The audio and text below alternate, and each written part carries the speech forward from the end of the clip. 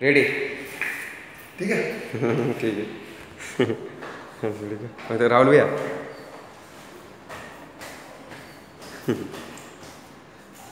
और सामने वाली वहाँ सामने वाली।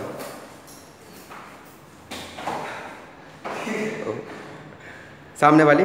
सामने वाली ये, ये तो बहुत और दोबारा बना देंगे।